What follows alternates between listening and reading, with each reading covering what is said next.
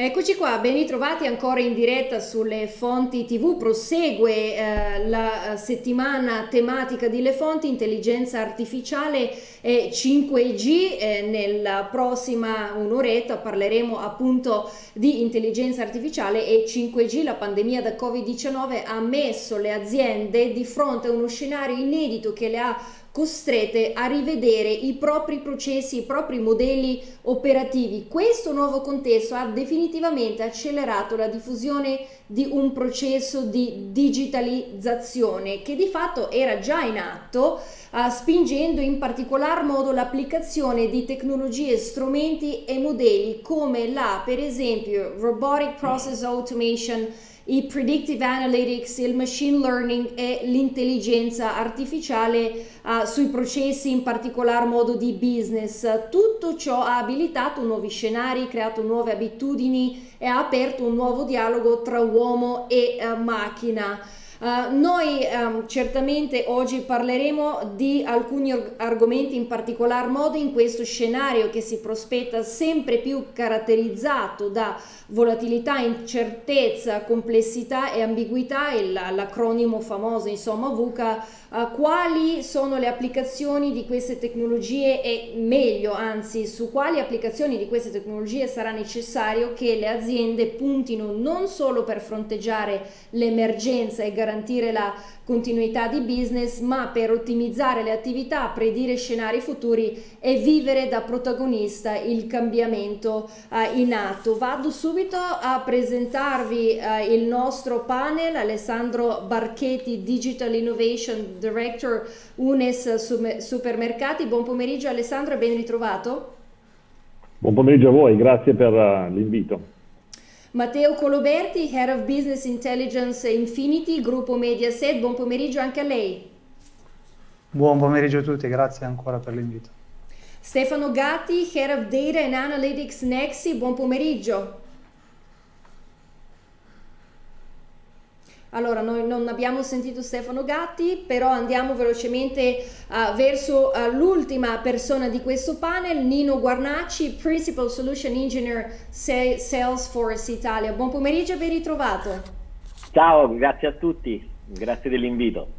Allora, prima di scendere nel dettaglio, proviamo a contestualizzare il momento storico in cui questi giorni si inseriscono. Gatti, vorrei partire uh, proprio uh, da lei. In, scen- in, questo scenario di emergenza, qual è stato il ruolo dei dati e um, quali sono le prospettive che si stanno aprendo in questo momento per il futuro?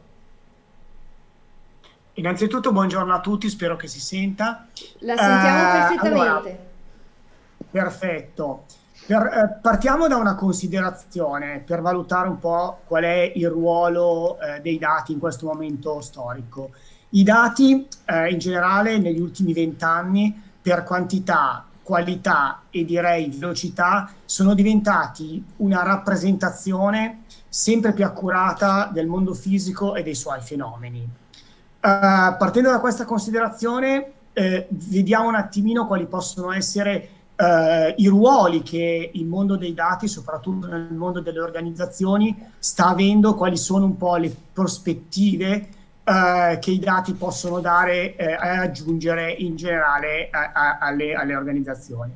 Innanzitutto, eh, sicuramente i dati sono un monitoraggio fedele di quello che sta succedendo. In questo senso, per esempio, anche eh, all'interno di un'organizzazione come, come Nexi, eh, noi stiamo monitorando, usando i dati per monitorare come per esempio cambiano i comportamenti in questo, eh, eh, in questo frangente di difficoltà anche a livello di transazioni, di come eh, possiamo usare eh, le transazioni per i normali acquisti, quindi abbiamo visto una modifica dei comportamenti dei consumatori, ma anche dei commercianti, un modo diverso con cui si, ci si confronta e si eh, attua eh, eh, il proprio business. Uh, in secondo modo, in secondo battuta, monitorando e comprendendo meglio quello che sta succedendo, si influenzano, si riesce a influenzare in maniera positiva uh, le azioni, le facilitazioni che possiamo per esempio fare uh, all'interno del nostro business.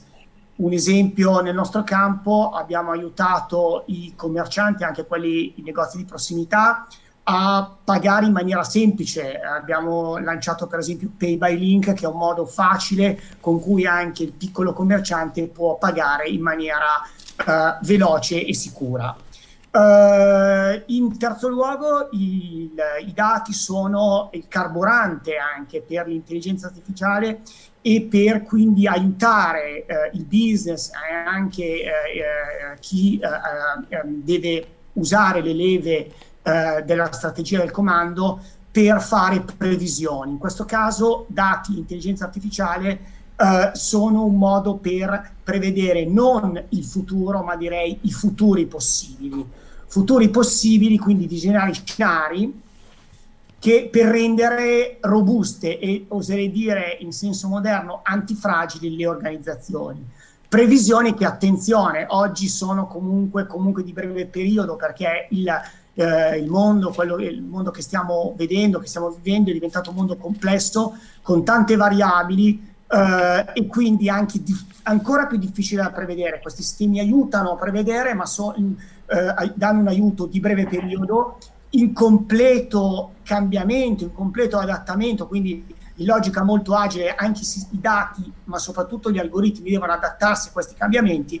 In questo senso, eh, il, credo questo, i, i, dati, ma anche questo momento molto dinamico, ci sta aiutando eh, a eh, portare sempre di più verso il business dati, intelligenza artificiale e modi diversi per affrontare in maniera dinamica il futuro.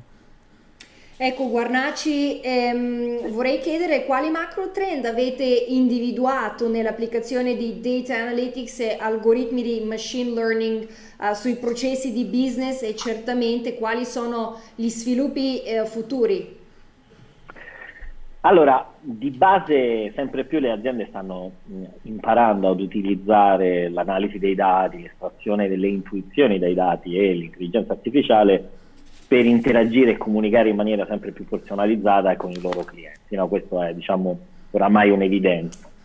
Quindi provocatoriamente eh, mi sentirei di dire è ancora giusto parlare di vendita di prodotto, di vendita di servizio, cioè molte aziende in questo periodo sempre più si stanno cimentando nella vendita della customer experience, no? cioè nell'esperienza cliente, un'esperienza cliente che è sempre più connessa.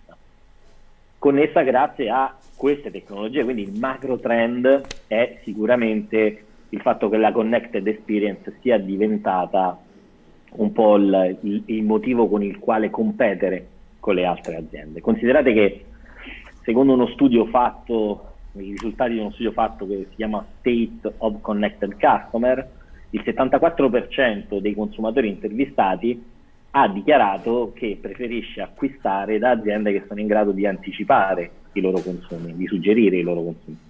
Il 70% di questi ha dichiarato che sempre più è facile cambiare brand, quindi è molto più difficile fidelizzare una, una customer base, no? perché perché ci si muove sulla base dell'esperienza, dell'engagement che si ha con quell'azienda. Ma il dato più importante è che l'80% di loro ha dichiarato che è molto più importante l'esperienza di acquisto che il prodotto in sé, a parità di qualità, chiaramente. Quindi, cos'è che, cioè, che cos'è che noi stiamo fotografando come azienda anche rispetto ai nostri clienti?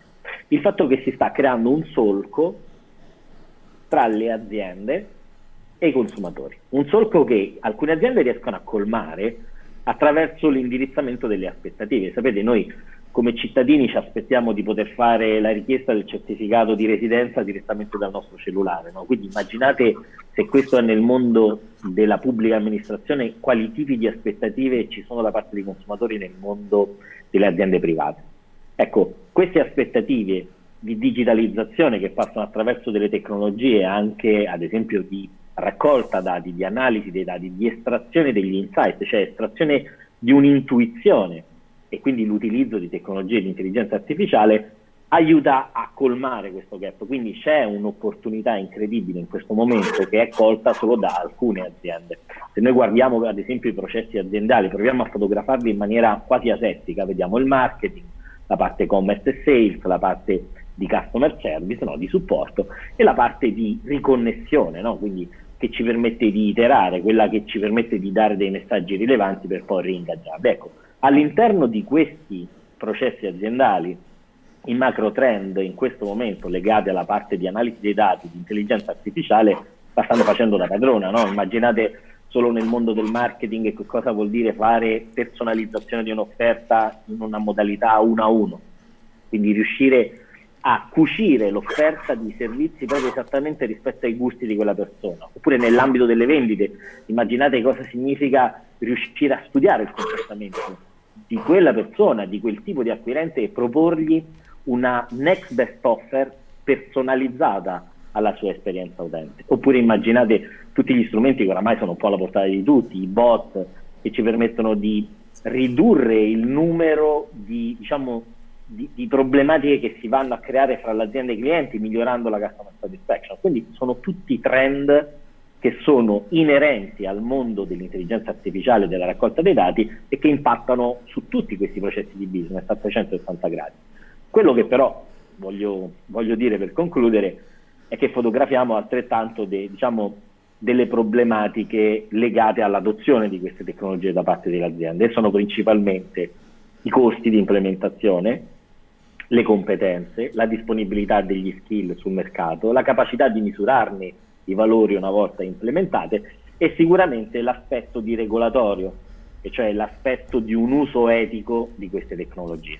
Quindi la, se ho dato una buona risposta a quali sono i macro trend, vorrei chiudere questa risposta dicendo alle aziende, rivolgendomi alle aziende, che è importante scegliere un partner piuttosto che un fornitore di tecnologia che vi accompagni lungo tutto il percorso perché è un percorso avventuroso, avvincente, però è un percorso che deve fa- essere fatto con attenzione. Um, adesso parliamo però anche delle sfide per quanto concerne il settore. Uh, Barchetti, uh, vengo proprio da lei. Quali secondo lei ovviamente saranno le sfide più interessanti, soprattutto per chi lavora direttamente su progetti in cui i data analytics e il machine learning ricoprono un ruolo uh, centrale? Buongiorno a tutti di nuovo. E, beh, io partirei poi dal concetto che avete sommariamente esposto prima, che è quello del VUCA, questa situazione che stiamo vivendo in questo momento, in cui volatilità, incertezza, ambiguità e, e, e complessità sono praticamente la descrizione del periodo che stiamo vivendo. Uh, come si affronta una situazione del genere? Si affronta uh, con una visione chiara del futuro, con una chiarezza di quello che sono uh, gli obiettivi, le, le ambizioni aziendali, con una comprensione del mercato e quindi con gli skill, come diceva prima Nino, uh, con l'agilità, con la, la, capacità di muoversi in fretta anche sbagliando. Facendoci caso, stesse, l'acronimo di, di, queste, di, queste, soluzioni al VUCA è sempre VUCA e questo fa, fa abbastanza sorridere. Avrei bisogno di spiegare un po' prima che cosa, uh, come, come l'azienda uh, in cui lavoro, che è la, l'azienda UNES con i supermercati eh, un supermercato il dottor Goloso eh, si muove in questo panorama di, di, di industria, in questa industria. Eh, sostanzialmente è un po' un, uh, una, una, mosca bianca perché eh, differentemente dagli altri applica un modello di business che si chiama Everyday Low Price, dove di fatto non, uh, non ci sono state in passato uh, nessuna attività particolare di, di rilevazione di informazioni dei clienti, non ci sono volantini, non ci sono carte fedeltà. In una, in una situazione di questo genere eh, potete capire che la, uh, la complessità uh, che si sta creando in questo periodo, cioè la mancanza di informazioni eh, sui, mh, sugli utenti e sul loro comportamento diventa complicata, diventa una questione da risolvere per poter gestire situazioni così complesse.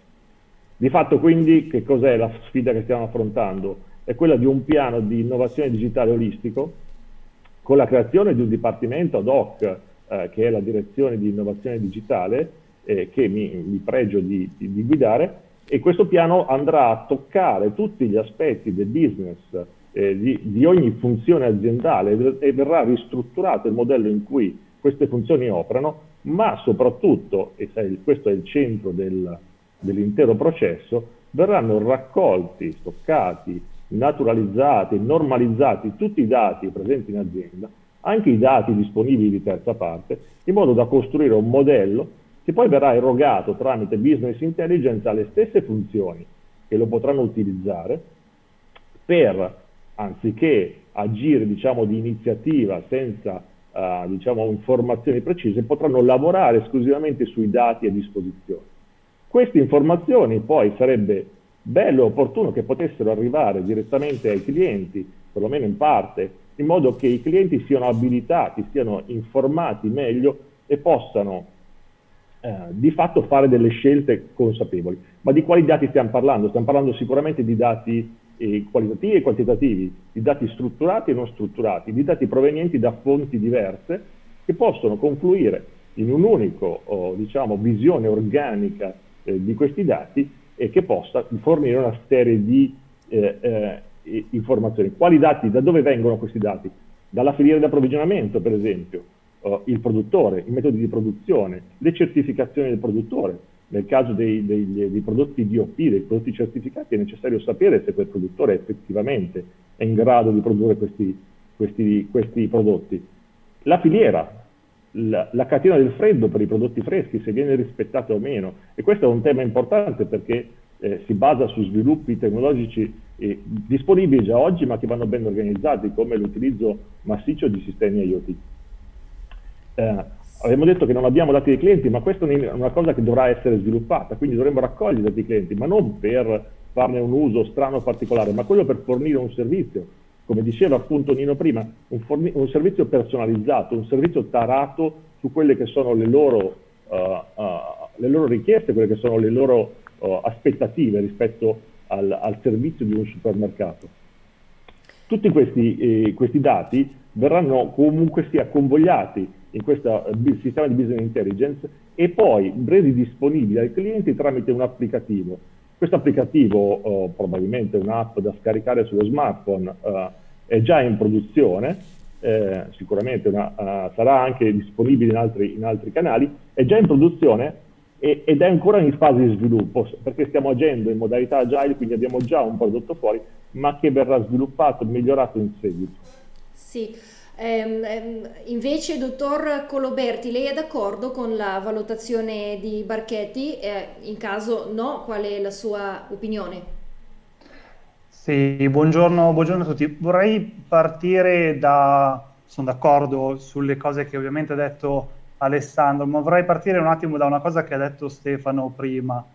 Eh, la situazione del Covid ha cambiato un po' il mondo attorno a noi a marzo di quest'anno circa il 60% della popolazione italiana era online, confrontata a un 55% dell'anno precedente. Questo vuol dire circa un 3 milioni di persone in più erano su internet o su un sistema OTT. Questo ha cambiato eh, fortemente i modelli di consumo eh, del, degli italiani. Gli italiani si sono trovati in una situazione straordinaria e queste cose le abbiamo viste eh, nei dati, riflesse nei dati che, che, noi, che noi, vediamo tutti i giorni. Eh, un'altra cosa che ha detto correttamente Alessandro e anche Nino, noi oggi dobbiamo offrire tutti quanti un'esperienza personalizzata agli utenti. L'esperienza personalizzata spesso viene implementata da un'azienda tramite una catena di sistemi eh, nel, nella catena produttiva sistemi diversi che interagiscono tra di loro. Questo porta a una complessità ancora maggiore perché oggi ci sono sistemi diversi che hanno eh, a volte algoritmi di machine learning eh, differenti e che interagiscono tra di loro. Queste complessità eh, si sommano tra di loro, quindi una delle sfide che secondo me ci saranno nel futuro sarà quella di riuscire a governare, a offrire la migliore esperienza, ma chi offrirà la migliore esperienza all'utente sarà anche chi sarà in grado di costruire e guidare eh, la miglior catena produttiva. Eh, questo ovviamente porta un livello di complessità anche nella condivisione dei, dei risultati. Se noi pensiamo a come eh, le nostre aziende oggi interagiscono, parlo di noi verso il, board, verso il board delle nostre aziende, dobbiamo tutti noi portare dei risultati.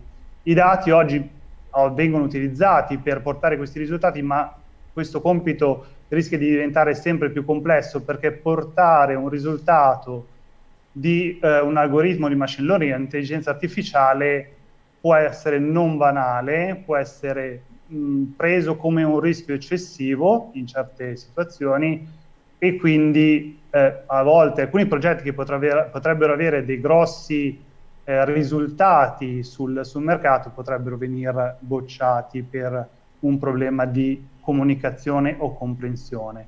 Quindi l'utilizzo dei dati sta entrando, sta cambiando nella, nella, nella, nostra realtà, ma noi dobbiamo evolvere anche le nostre competenze per riuscire a guidare le nostre macchine e a portare i risultati sul mercato. Ecco, Gatti, torno un attimo da lei e poi sentiamo anche Matteo Coloberti per quanto concerne eh, la domanda che farò adesso mh, mm, e riguarda i limiti. Quali sono secondo lei i limiti per cui eh, non si riesce davvero a investire sul dato e quali eh, fattori abiliterebbero lo sviluppo di una vera e propria cultura del dato in azienda tale da rendere la stessa realmente antifragile? Allora, io partirei da quasi un paradosso dicendo che i limiti oggi dei dati, della, di portare la cultura del dato in azienda è il dato stesso. Eh, lo dico perché partiamo magari dal, da, da, questo tipo di problematica per poi andare un po' più verso la tecnologia e verso l'utilizzabilità dei dati e di intelligenza artificiale all'interno delle organizzazioni. Allora, quali sono le problematiche oggi che eh, ostacolano un attimino la diffusione della cultura del dato? Ma innanzitutto i dati non sono completi. Ho detto che eh, prima, rispondendo alla domanda precedente, i dati sono una rappresentazione del mondo fisico e dei processi e dei progetti del, eh, che si fanno in azienda sempre migliore, ma i dati, anche per la complessità del mondo, non sono completi non sempre abbiamo a disposizione tutti i dati che servono per descrivere un processo, capire il nostro cliente, capire quello che eh, succede in azienda. Quindi questo, i dati non sono completi.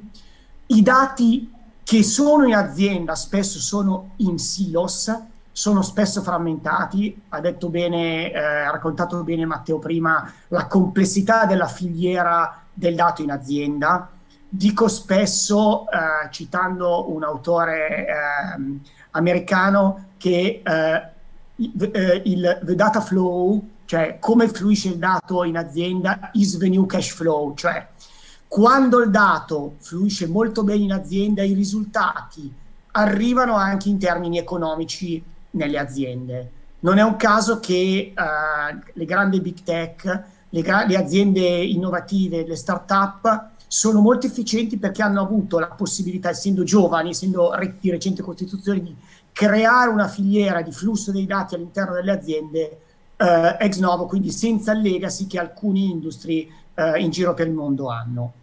Uh, quindi arrivo poi al tema della cultura del dato. La cultura del dato è qualcosa di molto importante, quindi che afferisce al dato stesso e distribuire il dato in azienda, distribuire la cultura del dato nell'azienda vuol dire decentralizzare questo potere del dato e vuol dire in senso di, eh, in senso, citando eh, Nassim Taleb, quindi che, che, ha parlato di antifragilità eh, a livello internazionale per raccontare questo, questo paradigma molto importante in senso moderno, ah, porta decentralizzazione, porta robustezza nelle aziende.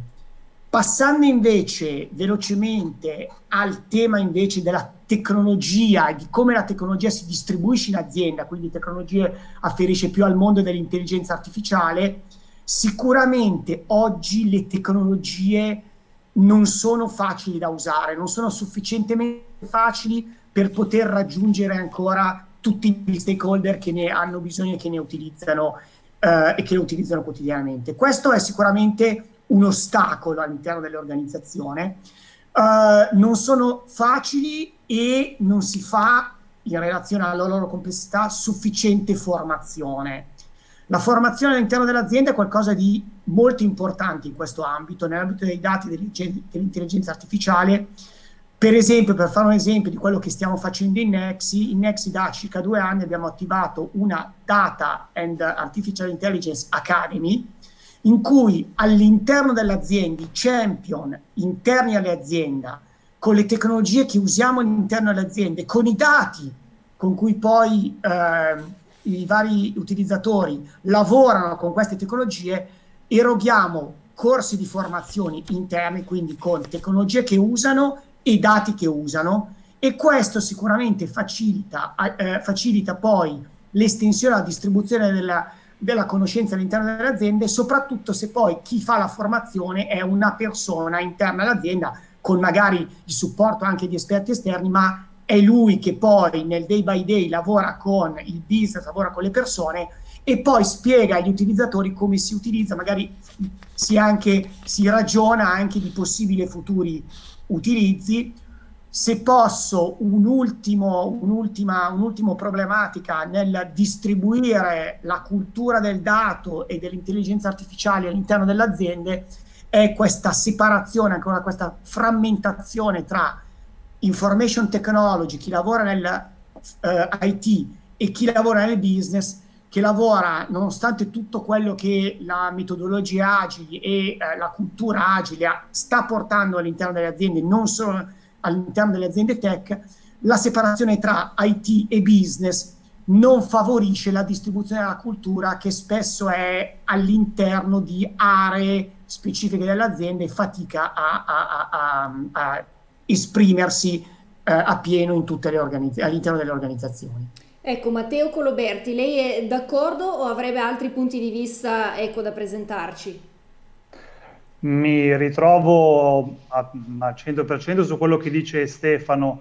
Io posso aggiungere eh, qualche, anche dal mio punto di vista, uno del, dei limiti che noi oggi abbiamo eh, in Italia è quello di riuscire a portare questi, processi, questi, questi progetti diciamo, di machine learning di intelligenza sul, sul mercato. È un problema eh, di persone, è un problema di processi, di competenze e se penso a aziende che magari non sono ancora ben strutturate, a volte avere a che fare con questi processi, con questi progetti eh, può essere complicato. Un, un, progetto che applica algoritmi di machine learning sui big data con la potenza di calcolo che noi oggi abbiamo sui dist- sistemi distribuiti può comportare dei costi molto, molto elevati. Quindi essere strutturati sia dal punto di vista delle persone che dal punto di vista dei processi per affrontare un progetto del genere lo ritengo essenziale. Eh, per fortuna ci sono aziende oggi in Italia, anche aziende di consulenza, che sono strutturate, che hanno competenze su eh, questi progetti, quindi quella potrebbe essere una strada per affrontare queste realtà nel caso siano nuove per, per le aziende. Per quanto riguarda la cultura del, del dato, anche qua mi trovo con le parole di Stefano, la democratizzazione e la distribuzione, l'accesso al dato oggi è una cosa che forse siamo riusciti a raggiungere, eh, quasi, quasi tutte le aziende che hanno il dato come elemento core del business hanno dei sistemi di business intelligence accessibili da tutti gli operatori. Eh, una delle cose che eh, dovremmo eh, migliorare è nel insegnare ai giovani a ragionare sui dati, perché come giustamente diceva eh, Stefano, una delle cose è l'incertezza, la mancanza di informazione. Quando manca l'informazione si rischia di prendere delle decisioni su un dato incerto. Quindi è una cosa che noi oggi facciamo, ma ci vuole dell'esperienza per riuscire a fare nel modo eh, giusto, nel modo da prendere il rischio minore e di prendere la decisione, decisione migliore. Allora, vorrei sentire un attimo dottor Guarnacci e poi torno da uh, Barchetti. Um, senta Guarnacci, quali sono le leve concrete che possono aiutare e dare uh, una spinta alla nascita e al decollo di progetti realmente disruptive, soprattutto nel contesto eh, che è, è, sempre più incerto, volatile, avevo usato all'inizio ecco, la introduzione all'acronimo eh, VUCA che corrisponde a volatilità, incertezza, complessità e ambiguità. Sì, allora di base sono tre i fattori che concorrono ad aiutare, ad abilitare no, le aziende, le iniziative, le start-up anche, le start-up anche di concetto. Sono tre, e sono di base le competenze, l'organizzazione e la tecnologia. Esattamente un po' riportando quello che diceva Matteo e Stefano no? in precedenza sulla parte della formazione, ovvero bisogna imparare a portare in azienda la cultura della formazione. In Italia non ce l'abbiamo questa cosa, no, però possiamo imparare a farlo. Cioè dobbiamo imparare che oramai non c'è più nulla di statico, non c'è più nulla che si possa sedimentare in azienda, quindi aspettare che magari maturi, ma bisogna poter cogliere delle opportunità. E queste opportunità si colgono se un'azienda, grande o piccola, meglio se piccola, ehm, comincia a ragionare nell'ottica della resilienza e dell'ergonomicità, cioè nell'adattarsi il più velocemente al cambiamento, attraverso la cultura della formazione. Quindi riuscire a a, a portare dei nuovi skill all'azienda o a svilupparli, tutto quanto cercando di mantenere anche ben d'occhio la parte del secondo fattore, che è l'organizzazione aziendale. Io ricordo, faccio parte di una task force di Federmeccanica sull'industria 4.0 e ricordo che nel 2016 facemmo un assessment su più di 1500 aziende manufatturiere in Italia, soprattutto nell'ambito del PMI, e ricordo che il responsabile della security all'interno dell'azienda era quello che installava gli antivirus. Questa roba era una roba che ci aveva lasciato sorridere a tutti quanti perché effettivamente era un assessment sull'industria 4.0. Con le organizzazioni all'interno delle aziende avrebbero bisogno di essere rivisitate. Sapete, in queste ore, in queste ore è, un, è un fenomeno particolare, no? perché molti di noi stanno studiando che cosa sta accadendo purtroppo per questa maledetta pandemia, no? E quindi in queste ore molte aziende stanno imparando a misurare le performance delle persone piuttosto che a misurare gli orari di lavoro delle persone. Lo smart working è stato proprio diciamo, l'effetto che ha lanciato questo tipo di volano. E questo volano, grazie alla cultura della formazione e grazie a una riorganizzazione aziendale in cui si vanno a premiare le competenze delle persone, possono aiutare ad adottare quelle tecnologie che poi effettivamente possono essere la posta in gioco per essere competitivi sui mercati, non sui mercati solo nazionali, ma anche internazionali. Quindi quando parliamo di start-up innovative italiane, parliamo della conquista di un mercato che non sia necessariamente solo locale italiano. No? Quindi se noi guardassimo la tecnologia, e mi piace riprendere un termine che ha prima usato Matteo, no? dobbiamo fare in modo che le aziende, le iniziative di start-up, le piccole e medie aziende soprattutto, si rendano conto che siamo nel mezzo di una rivoluzione che è iniziata un paio d'anni fa e che si chiama cloud. Il cloud che cos'è? Potremmo pa- passare ore qui a spiegare che cos'è il cloud, però se dovessimo dargli una definizione da manuale, potremmo dire che il cloud è la democratizzazione, per usare lo stesso termine che aveva usato prima Matteo, la democratizzazione dell'accesso alle tecnologie. Che vuol dire? Vuol dire che a parità di tecnologia due aziende, sia grandi che piccola, hanno le stesse opportunità. Ovvero, se noi cominciamo a pensare che ci troviamo in una subscription economy, cioè il, il, un nuovo mondo in cui io non acquisto più il software, ma in una logica di multi-tenant, no? un termine un po' troppo avanzato, però in una logica in cui c'è qualcun altro che si preoccupa a me di installare il software, di configurarlo, di proteggermelo, di rendermelo accessibile, disponibile e io ho solo la necessità di dover acquistare la sottoscrizione e quindi a seconda delle dimensioni della mia azienda comprerò più o meno sottoscrizioni, ma il software alla base è lo stesso, quindi le potenzialità sono le stesse che ha una grande azienda.